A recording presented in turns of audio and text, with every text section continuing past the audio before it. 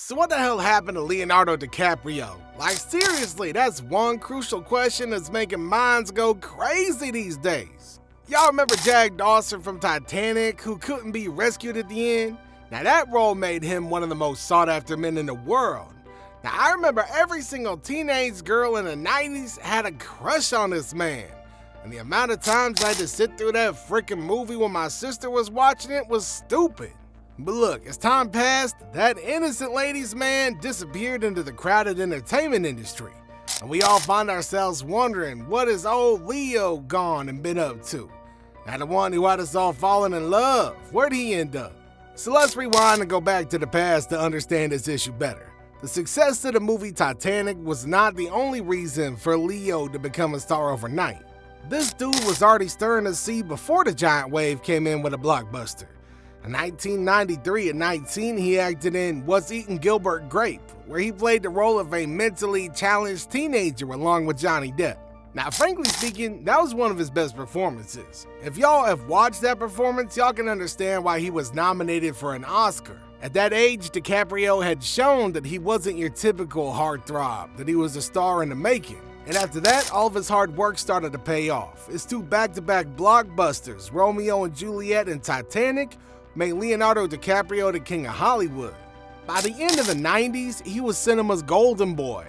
Now his poster adorned the bedrooms of millions of teenagers and the faces of hundreds of magazine covers. But Leo had some other plans, unlike many young stars who ride that wave and continue to do typecast pictures.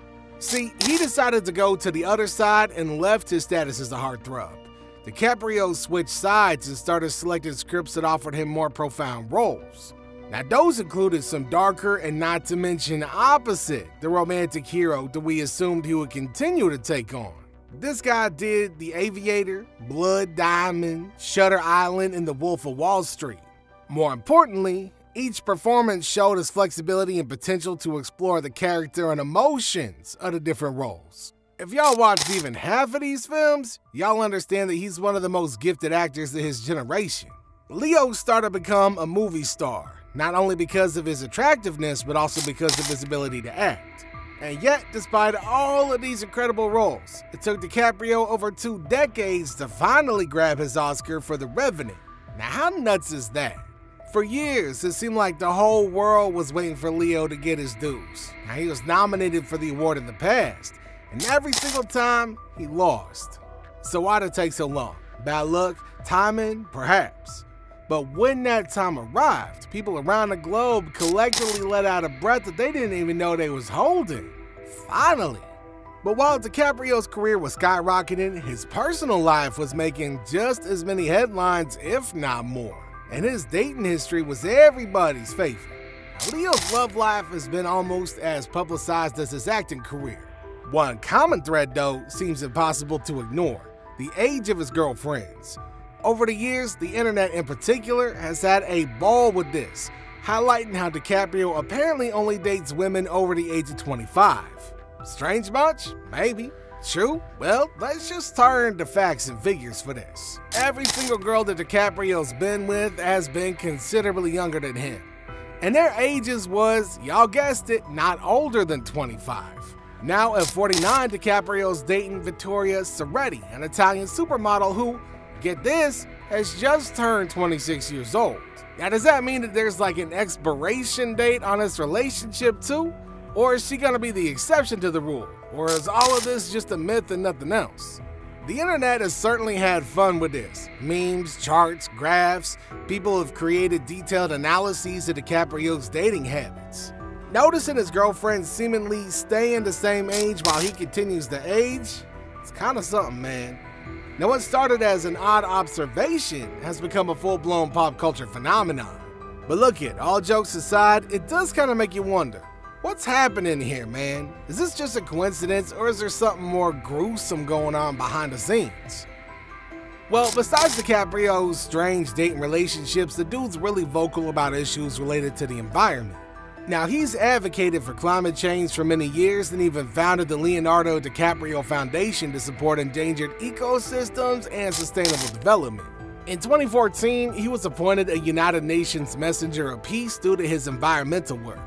Now, the guy's directed programs such as Before the Flood, which is documentaries considering the destructive impact of climate change. He's also spent millions of dollars of his money on different environmental organizations. Beyond any reasonable doubt, nobody can tell that DiCaprio's got the interest of the planet in his heart. But here's where things start getting a bit dicey. Despite all the environmentalism that he's into, DiCaprio has been accused of inconsistency and at times even hypocrisy. The guy's been photographed riding in private jets and enjoying a holiday on a luxury yacht. Two things that are far from friendly to the environment, as one could imagine. Society has been wondering how a particular person can advocate for the fight against climate change while participating in practices that cause that change. I mean, people got a valid point, right? Now, this contradiction has not left the public in the dark. Even his fans are starting to question some of his choices. And while we're on the topic of controversy, we can't ignore DiCaprio's connection to one of the biggest financial scandals in recent history the 1MDB corruption scandal. In case y'all missed it, here's the rundown. Malaysian businessman Jho Low is accused of stealing billions of dollars from a Malaysian development fund and then living the high life in Hollywood. And guess what? DiCaprio's name came up. In 2010, DiCaprio reportedly met Jho Low and the two became friends. Now, Low even helped finance The Wolf of Wall Street, and that's where things started to get messy. Low was accused of using stolen funds to finance the movie, and while DiCaprio didn't have any direct link with the crime, his name was dragged into the mess. He had to testify during the trial, recalling moments like Low offering to donate a whopping 20 to 30 million dollars to President Obama's re-election campaign. Now that's some mad cheddar. Although he wasn't directly involved in the scandal, the association definitely dented his image. So the big question is, what the heck happened to Leo? Is he even still the same guy everybody fell in love with during Titanic, or is he evolved into something entirely different? On one hand, he remains one of the most talented actors of his generation, constantly pushing boundaries and challenging himself with every role. The guy's an environmental advocate trying to make a difference on a global scale. But on the other hand, his personal life, particularly his relationships and some questionable connections, have sparked some controversy. Now here's the thing, he's always kept his personal life private, and he rarely gives interviews and doesn't explain himself.